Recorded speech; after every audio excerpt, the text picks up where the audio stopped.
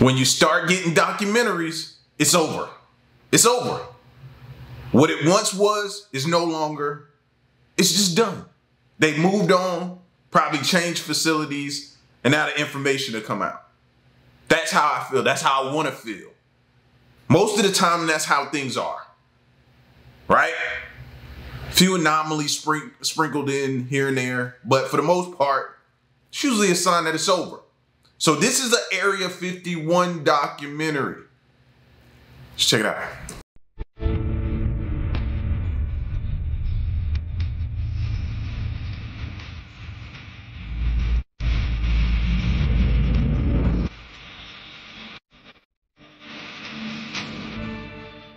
In 1989, a man called Bob Lazar walked into a Las Vegas TV station and gave a remarkable interview. He said that he'd worked out in the Nevada desert at a top secret facility known as Area 51. He said he worked on a highly classified project, reverse engineering recovered alien spacecraft. This story was a worldwide sensation and Area 51 became a household name, synonymous with UFOs, secret projects, and little green men. And yet, neither the US government nor its military have ever denied his claims, and they still don't officially confirm that Area 51 exists, despite satellite photos proving it does. Many dismiss Bob Lazar as a fantasist, and yet others see him as a whistleblower, exposing a government cover-up of UFOs and alien contact.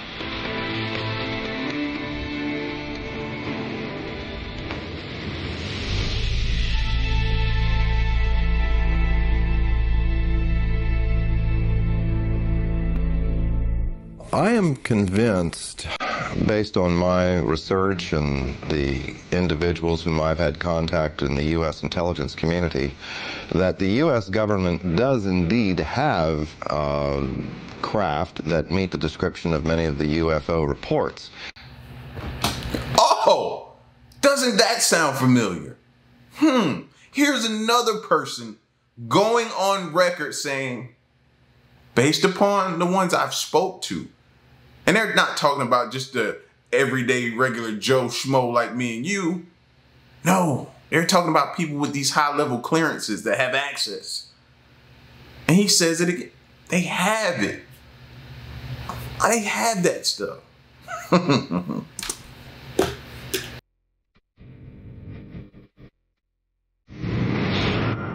My personal opinion, uh, based on comments I've gotten from uh, the Deputy Director for Science and Technology at CIA, would seem to indicate that Bob was perhaps an unwitting participant in a program designed to introduce someone with a technical background to some elements of the UFO research projects going on out at the test site.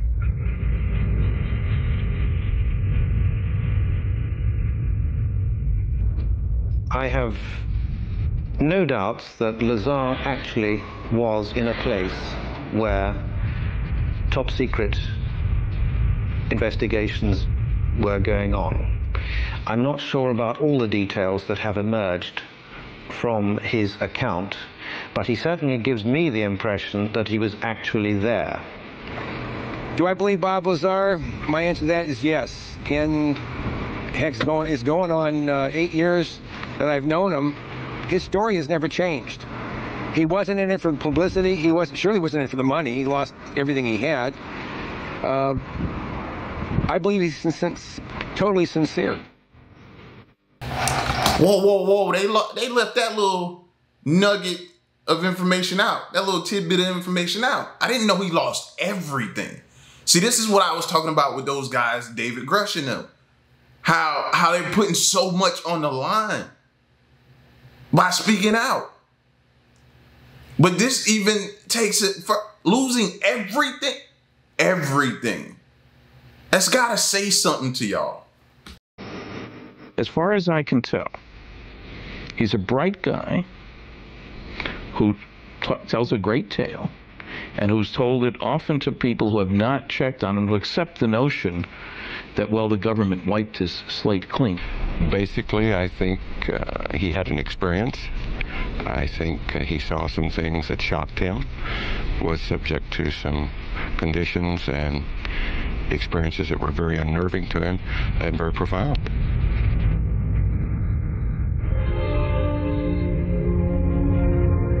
He said, "You would love to see what's what's out there because it's like beyond science fiction." He said, "And I wish I could talk to you about it, but I can't." And that's as close as he ever got to telling me anything that happened out there. You'll find many people who have seen these discs. Question is, where do they come from? Uh, Bob Lazar may be one of the few people who can tell us that they're from somewhere else. I've no doubt that there's a relatively small number of people within the intelligence, military intelligence, and scientific and technical intelligence community who are aware of what's going on, and an even smaller group who are actually organizing top secret research into this phenomenon.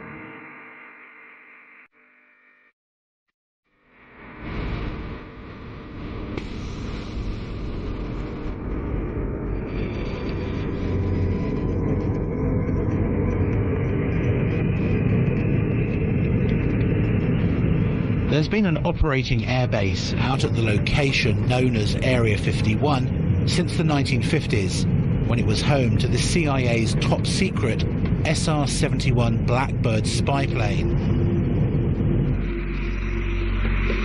Then in the 1970s, it became the test flight center for the F-117 stealth fighter and the B-2 stealth bomber.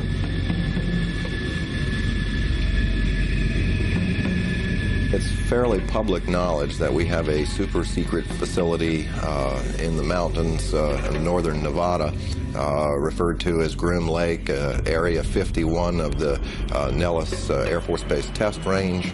it's also been referred to as, as Dreamland. This is an area that has been known but officially denied for many decades.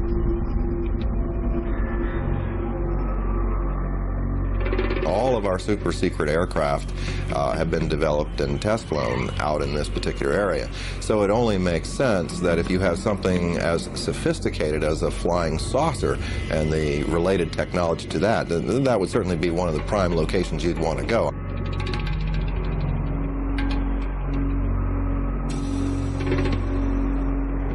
What you see is an ordinary looking Air Force base.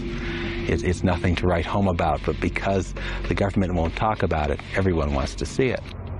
We don't believe in ordinary, Glenn. we don't believe in that, Glenn. We believe in extraordinary. We don't believe in ordinary, Glenn. The military has never said there are no UFOs. It's never directly denied any of the Area 51 stories. It would have been so simple when these claims came out, these Papoose Lake claims, for the military to simply say, look, we have nothing there. They could take a few reporters to this area and show them nothing there. The military hasn't done it. The military has stonewalled. It has remained silent. And that's the most damning thing that they can do. Area 51 to this day is not acknowledged. That is to say, the Air Force does not admit that it exists. This status has been maintained very carefully, particularly in the last few years.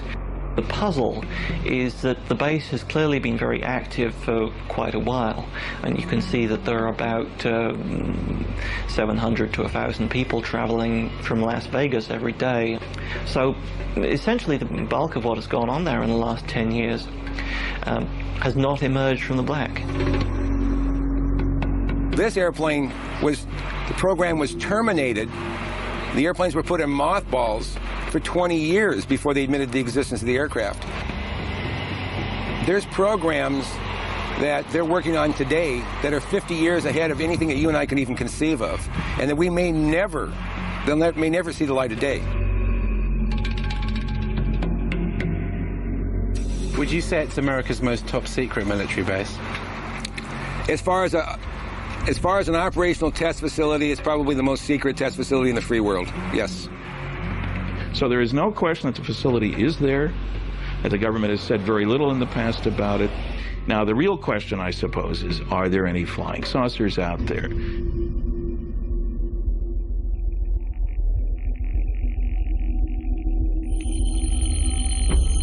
No one had associated flying saucers with Area 51 until Bob Lazar's interview hit television screens around the world. He said that he worked at an underground facility called S4. The top secret project was codenamed Galileo.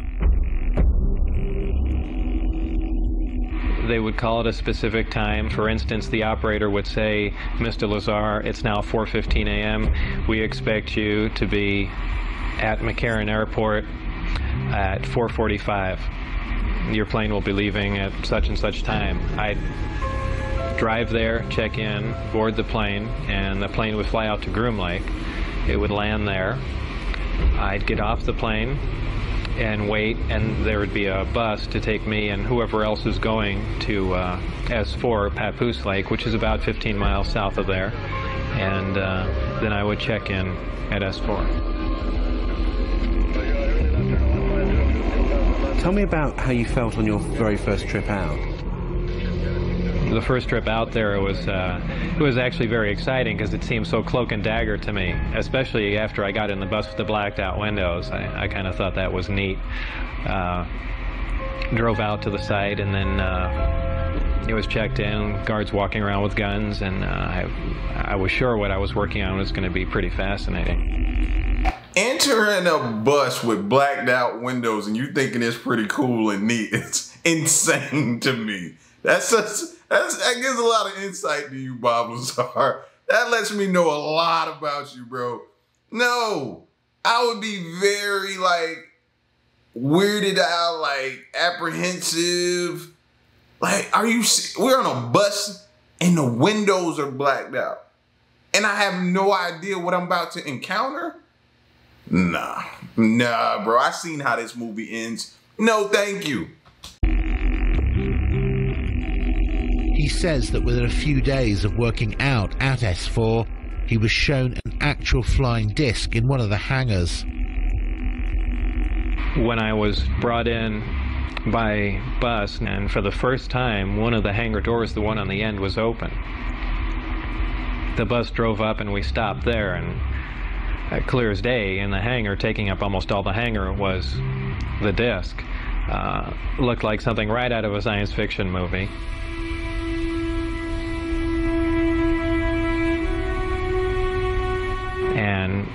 As I walked in there, I thought, well, this is the new advanced aircraft we've been working on, and this is why people keep seeing flying saucers, because it's ours, and we've just been testing it probably for all these years. And what, what color and size was it? It was a uh, dull stainless steel, pewter gray, very uh, unimpressive color-wise. About 52.8 feet in diameter and about 16 feet high. So was it actually a recovered craft that you were working on, or was it one that um, scientists had built as a mock-up of, of a recovered craft? Well, whether it was recovered, given, or what, it was not built as a mock-up. It was an it was an alien craft built on another world. There was absolutely no doubt about that. Lazar claims that he was one of only 22 people who had something called majestic clearance to work on the craft itself. The whole aim of the project was to take these craft, or the one in particular that I was working on, and try and duplicate its systems and subsystems with earthly materials.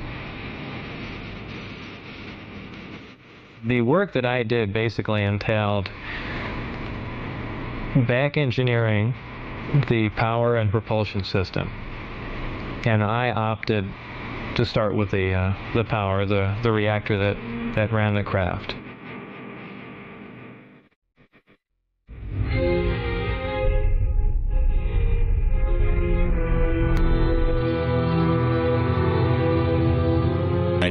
Immediately if his credentials could be verified, if even part of his story could be verified, it'd be one tremendous expose. George Knapp was a long-standing TV reporter. He'd heard enough of the UFO rumors over the years to appreciate how big a scoop this could be if Lazar was telling the truth. He gave me uh, uh, information about his background, educational background, and employment background. I started with uh, with his claim to have worked at Los Alamos Lab. We went to Los Alamos and uh, got nothing uh, even close to cooperation. Uh, they wouldn't uh, respond to our phone calls. They say we have no information on Bob Lazar. There's nothing in the files. I said, "Are you sure now?" No, nothing in the files. I showed them uh, the the phone book entry that Bob had kept that said uh, he was there. I showed them the newspaper article that, that showed that he was there. Basically, Los Alamos Lab um, tried to thwart me at every step were completely uncooperative in trying to get information about Bob, and I, and I found that to be the case at every step of the way in trying to verify his background. It's like you got to figure out who's in the shadows, pulling the strings and puppeting everyone and going behind the strings. You see it on shows. There's always this this person in the background you don't see, could be working for the CIA. You never know, and and they show up and and ask you to do this job for their country, for your country, whether it's erasing someone's history here or, or doing some back channel, whatever. That's what this feels like. They they started to do. It's like almost like they're 10 steps ahead. And they're like, if he does this or if he starts to speak out, we'll have this contingency in place, this contingency in place. And it'll look like he never existed and then it'll also look like he's one of the biggest liars. We'll we'll just destroy his character and make, put it so much into question that no one will ever believe what he's saying. 12:37 p.m. Former NASA mission specialist Bob Oechsler had heard about Area 51 and Groom Lake when he worked on the Apollo and Space Shuttle projects. He was intrigued by Lazar's claims and started to investigate. Or use his name. Uh, I did uh, a variety of research uh, relative to Bob Lazar. I actually met him. Uh, I obtained a copy of his uh, what they call a W-2 form, which is one of the um, uh, IRS documents associated with with pay. his particular form indicated that he worked for the U.S. Department of Naval Intelligence. Um, they informed me that it was a genuine document. It was not something that had been fabricated. There were a variety of numbers, uh, contract numbers and so forth uh, issued on the document, which I was able to research, again finding that uh, these were uh, highly classified uh, numbers. In fact, uh, Internal Revenue Service ran into a, a, brick wall when it came to trying to track down the actual employer uh, associated with the, with the document. And then again, with the Social Security Administration, we found that Bob Lazar's records had in fact been, been bleached clean. There was nothing there in spite of the fact that the document uh, clearly indicated that uh, Social Security taxes had been taken out of his pay.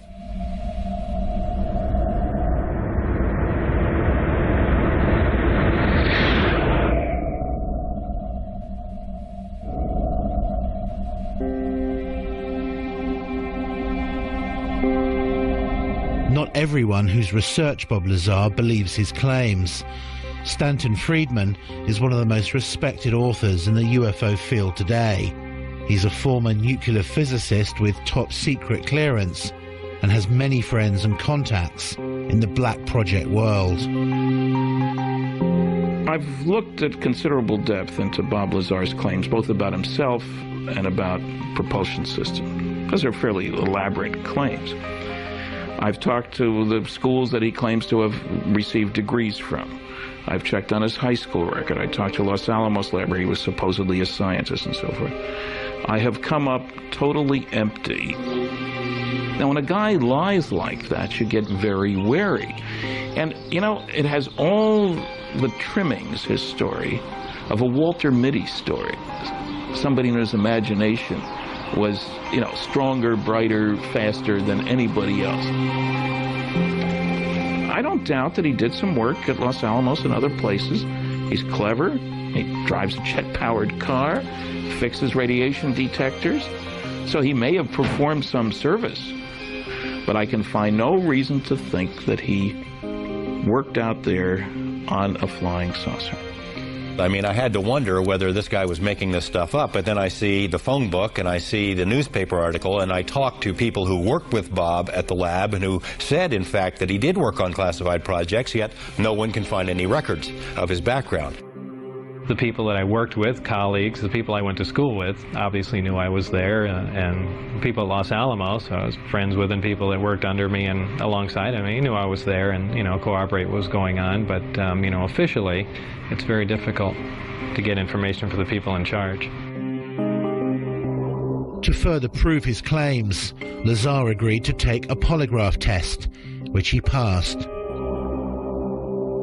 The thing that uh, is interesting about polygraph is that if you're embellishing or if you don't completely believe what you're saying, it is very, very easy to detect. Uh, all it really will tell you is that the individual believes with 100% conviction that what he's reporting is exactly as he recalls and as he believes it to be. And that clearly was the case with Bob Lazar. Now, could his perception have been a, a bit askew? Yes, that's possible. But he clearly wasn't lying. I think Bob is even open to the possibility that perhaps he had been used in some sort of misinformation or disinformation campaign. I mean, look at him. He has a pirate flag floating on his house. He races jet cars. He likes uh, fast women. He likes guns. Um, he, he's technically capable, so in that sense, he may be perfect for this kind of a program. Technically capable, scientifically knowledgeable, and yet uh, completely discreditable at a, at a moment's notice. If you wanted to uh, test public reaction to a story about Area 51 and then suddenly discredited afterwards, Bob may have been the most qualified person in the country.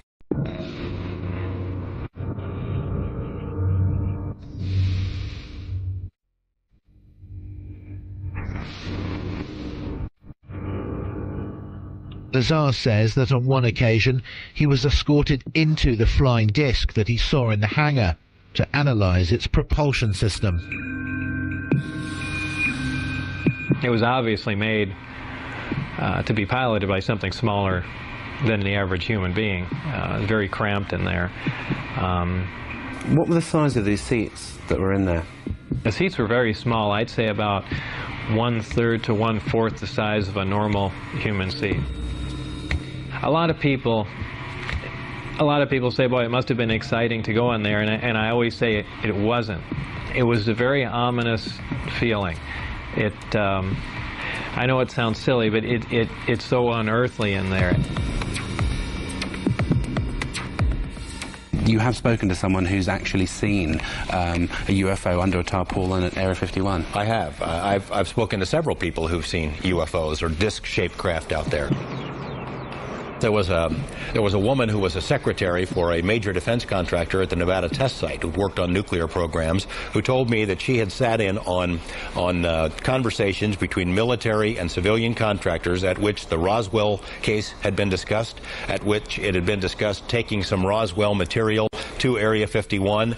Uh, the level of secrecy during those meetings was great. Afterward, they'd take the, the ribbons out of the typewriter she was typing on. She was ready to tell me about this, and I had this conversation with her on the phone. The next day after this conversation takes place, she's visited by two men who say that they work for the company she used to work for, reminding her that she is still under a security oath, told her, we know that you do a lot of traveling back and forth, a lot of long drives between Las Vegas and L.A. We'd hate for something to happen to or your family. No interview. I mean, it happened again and again and again. Same scenario.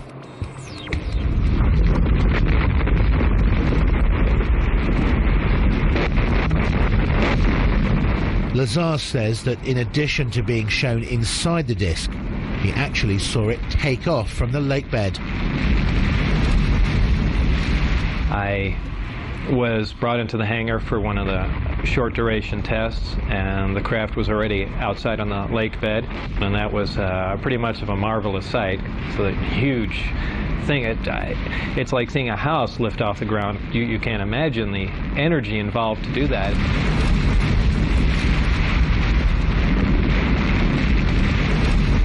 Because of the uh, extremely high energy output and the fact that the outside of the craft does is used as a conductor, that does ionize the air.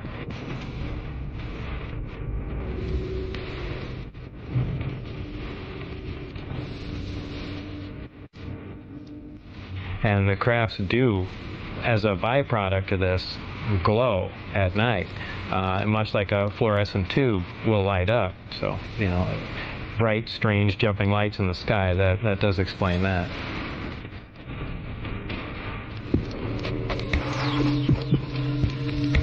Would you categorically say there is no way that, that hu- humans could have built the craft that you saw?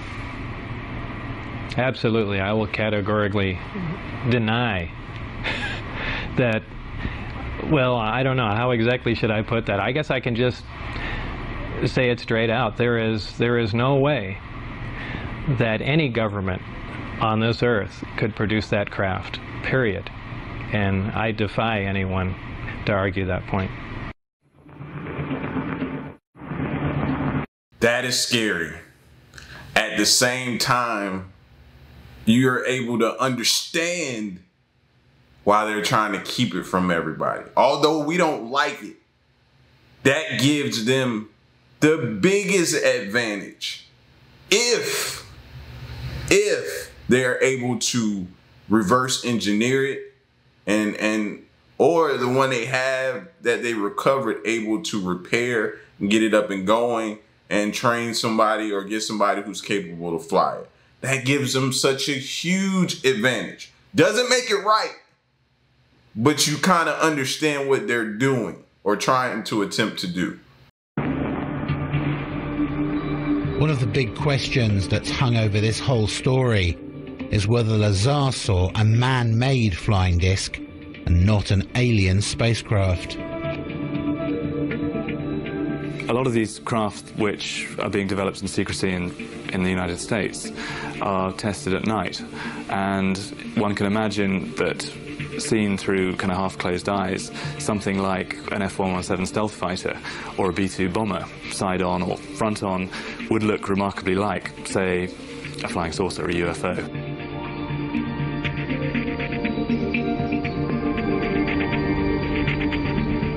you see an F-117 or you see Tacit Blue um, or you see uh, a B-2.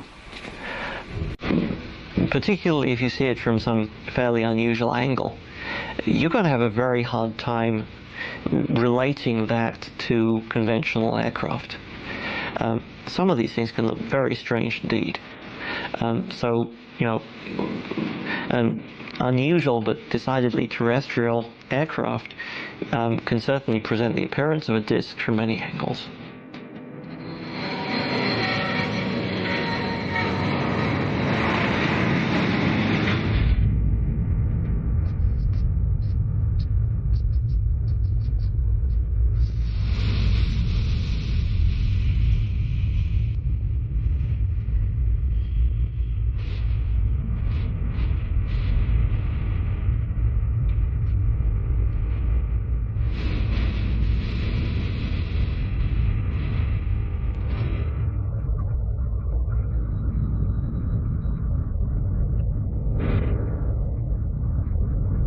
I think for anyone who's who's been out into the western United States and seen the kind of place it is and let their imaginations run riot a bit, it is possible to imagine in, in these vast test areas technologies which are highly exotic, highly uh, revolutionary, and would change the way we feel about science today.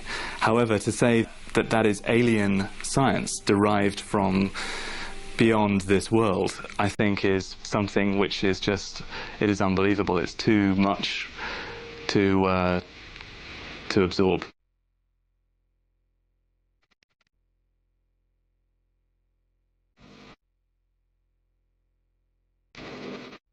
Do you think that some of the truth certainly lies out there in the middle of the Nevada desert at Groom Lake? I would expect that some of the truth may very well lie out in the desert near Groom Lake. It's the right place for some of it to be. It's isolated, it's under control, it's high security. I don't think we've yet scratched the surface on what's happening out there with regard to flying saucers.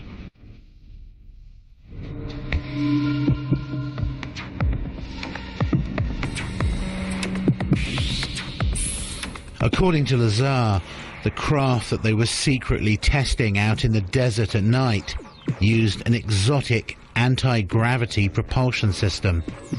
The reactor itself was an incredibly advanced system. This is uh, was an antimatter reactor. This is something we could only dream of having, something that could put out huge amounts of power that rival several nuclear power plants running at capacity. What happens is a great gravity distortion is created and you're essentially bending space toward the craft. The craft becomes part of that space and then when the reactors or when the gravity amplifiers are shut down, the craft is essentially where it was focused. It's a very difficult thing to grasp. It happens virtually instantaneously because of the fact that gravity distorts time. And if you're bending space and time along with it, when you wind back up in that place, you're there between the ticks of the clock.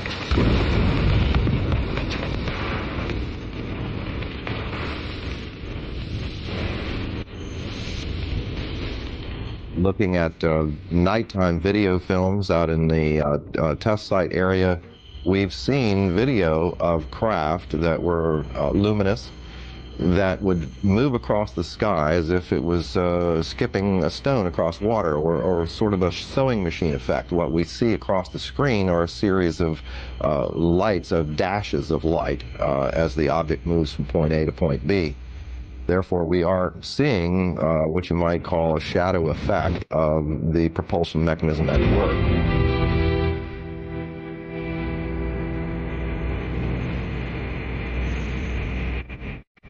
Bob Lazar is not the only person who's come forward and claimed to have worked out at the base on flying discs. Former US Marines test pilot Bill Uhouse worked out at Groom Lake and other top secret locations for more than 40 years, working for the Pentagon and civilian contractors on a variety of highly classified projects, including, he says, a flying disc recovered from a crash in Kingman, Arizona in May 1953. He said that he'd been cleared to do this interview and to discuss certain information, but asked us not to show his face. What were you actually working on out there? One of the things I worked on was a, a flying disc simulator. It was designed in New Mexico by a, a separate staff that uh, built it uh, in parallel with the actual craft that they were had intended to fly. The purpose of the simulator was to train pilots to uh, to fly this strange, uh, strange-looking craft. The simulator was a 10-meter round uh, disc. The skin was made of um, boron uh, composite material, not unlike uh, that you see on the F-117. How did you know how to build the simulator? There essentially there weren't any plans. The plans were generated as we constructed it. And it was a, there was a process there that, that took quite a while for for us to even understand the concept way back in the 50s. Uhouse says that Lazar did work at Area 51. I think Bob is saying exactly what he knows, and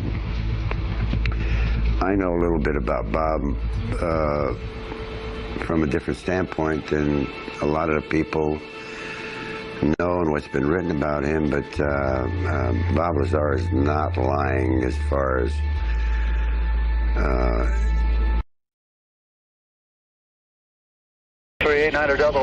So think about it, right? Let's just say Bob's lying right?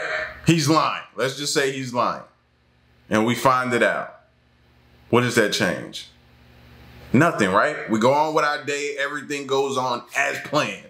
We continue on with life. On to the next thing. But let's say if he's telling the truth, everything changes. That's why this is important. That's why we must keep trying to figure out. We must know the truth. Vegas Star, runway 1 and a left taxi in position and hold traffic crossing downfield. Thank you, sir. 89 Delta. Was it a, a hard secret to keep? It was a vir- virtually impossible secret to keep.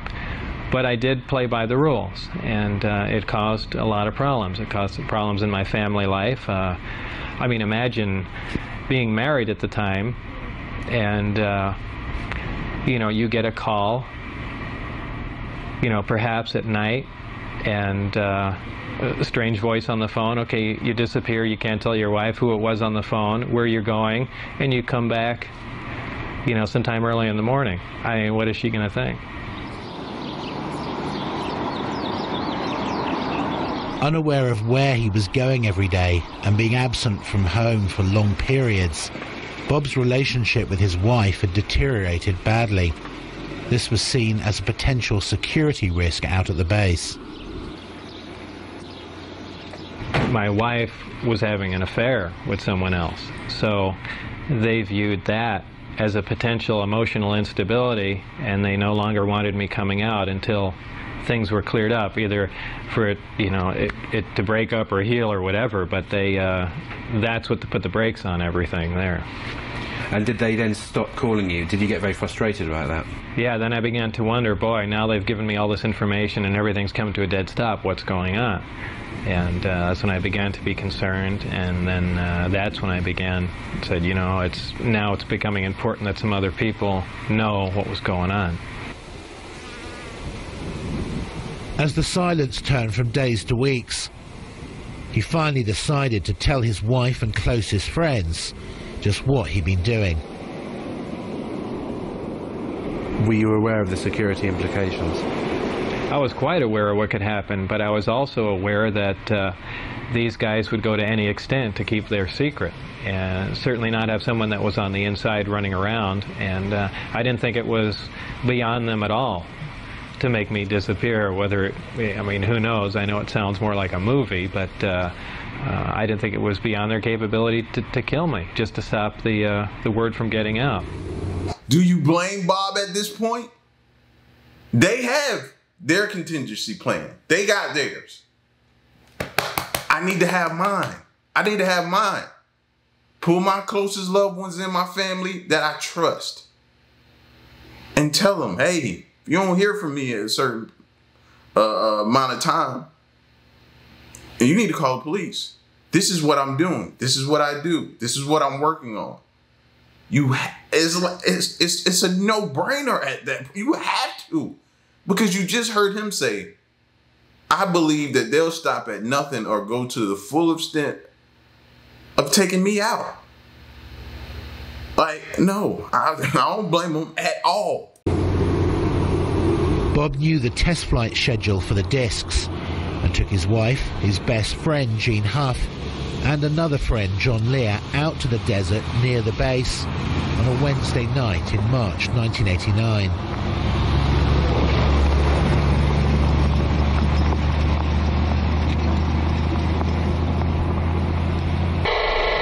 Huh. Started coming in too. How far away can that thing pick up stuff uh, if it's like overhead, like up in the air? Overhead, 300 miles.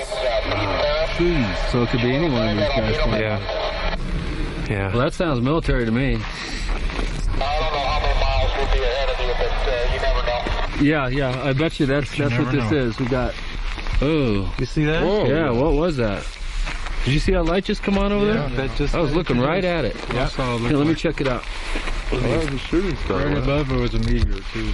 No, there's a steady light. No, it's a It's steady light that just came without on. any kind of. Uh, No, this one right over the range here. It wasn't there, and then I was looking right Yeah. there, and it blinked okay, on. that's very bright. That's brighter than a star. Yeah.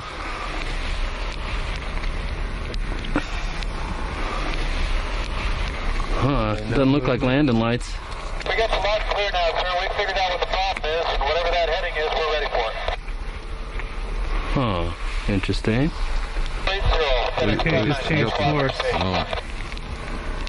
White light. Yeah. Yeah, he's coming at us. What did you see when you were out there? Shortly after the flight time that I had recorded, um, uh, white light came up. Well, not a white light. It was actually more of an amber light. Uh, came up off the ground and hovered, and then be doing, uh, began doing radical step maneuvers and darting from one side of the sky to the other, doing, doing some impossible flight characteristics. Do you think what you saw over the desert that night was an alien spacecraft? Could I identify it as an ET craft without Bob's help? No, it would have been a, and you know, like I said, an elliptically shaped saucer doing, you know, uh, just doing moves that we're not capable of, but I could not say that no, this wasn't some advanced Earth technology. We got the log clear now, sir. We figured out what the problem is, and whatever that heading is, we're ready for it. That would be a UFO. It's not blinking, it's not conforming to any sort of FAA lighting regulations, and there you're looking at it. That's like a typical UFO. If it was red, it would be real typical because that's what most people report is red lights like that that are solid colored. I don't think that's landing lights because it's curved already and we're still looking at it. Looks like he's curving back. Here he comes. That is a typical military UFO. There you go.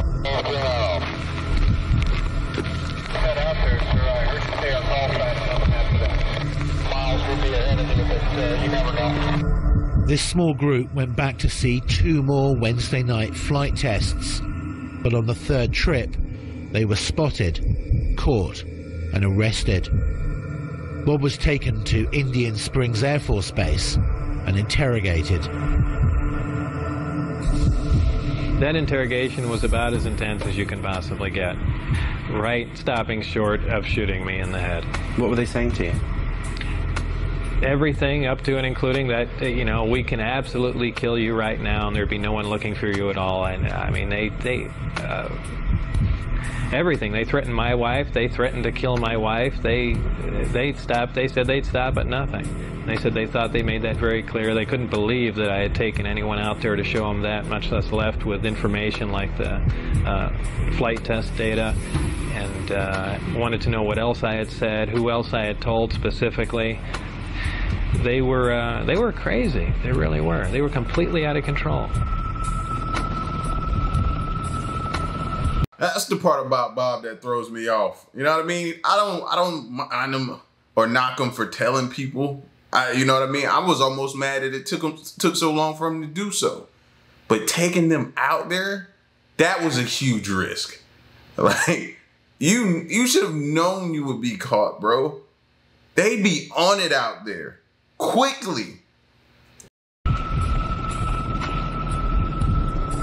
After this interrogation at Indian Springs Air Force Base, Bob says that he was put under constant surveillance by security personnel.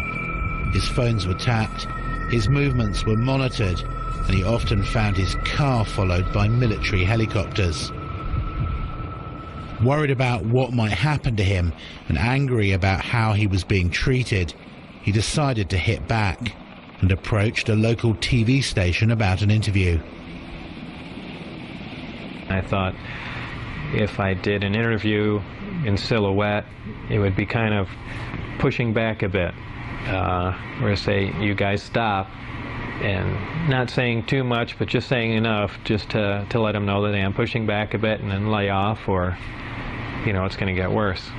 It was really the only thing I could do. Did you get any calls from the military or from former workers to say, what the hell are you doing? Right after the interview aired, Dennis Mariani, who was my supervisor, called, and you know, all he said was, "Do you have any idea what we're going to do to you now?" And that was the end of the phone call.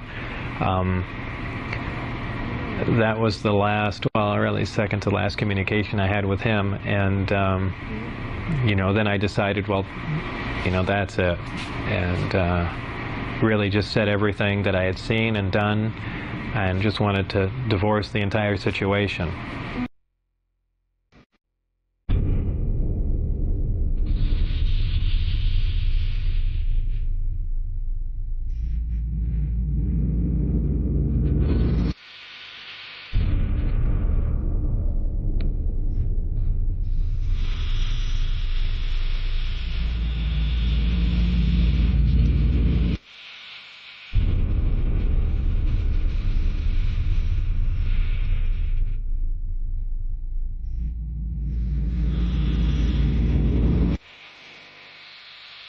Even now, more than 20 years later, the jury is still out on Bob Lazar and his claims about his work out at Groom Lake.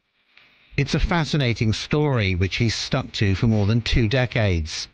And although many dismiss it as pure fantasy, the fact is that some of his credentials did check out. In addition, his former employers and even the tax authorities were caught covering up and refusing to release information on him. Why would they do that unless there was something to hide? One thing is for certain, if he is telling the truth, then we're all in for some shocking revelations in the decades to come. Is the government ever going to say, you know, we've been lying to you for 40 or 50 years? Not a chance. I believe they'd stage an event that is much more like what they do. They'll take a big cargo plane or C-130 or something, take one of the old discs that they've, uh, you know, analyzed time and time again or and finished with, go up to a high altitude and push it out the back and then go fly away and say, oh look, the first disc has crashed. You know, here's a flying saucer. I mean, I, I can almost guarantee that's that's the route they'd take.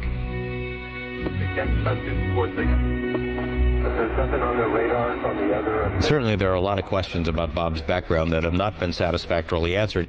But there's too much that Bob knows, I think, that couldn't be explained any other way. Uh, he knows about the layout of the base. Um, he know, knew about people who were involved in security checks. He knew when and where the test flights were going to take place because he took people out there three weeks in a row and they videotaped the tests. How did he know this stuff if he, in fact, did not have some kind of inside knowledge? Do you think he'd make a good uh, conduit of information? I mean, essentially a patsy. Yes, I do. I think it's quite likely that Lazar was set up, perhaps to knowing that he would give out this, this information. It's likely to be a very long time before we discover uh, what is actually being done out at Groom Lake now. They seem to wait anything from 15 to 20 years or more uh, after something has been retired before they acknowledge its existence. This airplane was built, designed almost 40 years ago. 40 years before that, the hottest thing flying was a Seversky P-35. 40 years before that, it was a balloon. So the technology technology has not stood still. So it's a very good possibility that we are looking at man-made transportation for the 21st century. Uh, it's it's been so hopelessly polluted that I, I'm not sure we'll ever, we will ever get to the bottom of this story, and and that's sad. I, I suspect that whatever was out there, discs, alien or not, um, had now been moved to some other location, and we may never find them again. There might have been reason 40 years ago to believe that people couldn't handle uh, the idea of alien visitation. I don't think that's true anymore. Uh, I think we're far more sophisticated now. Do you regret having screwed up at S4 and taking your friends there and blowing your security cover because you could still be working on UFOs today?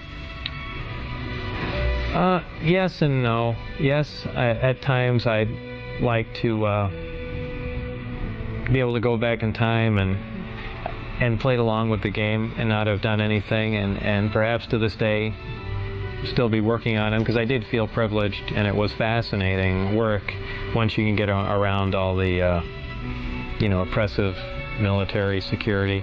Uh, and you know maybe we would have stumbled on something and uh, yeah, it would have been fascinating.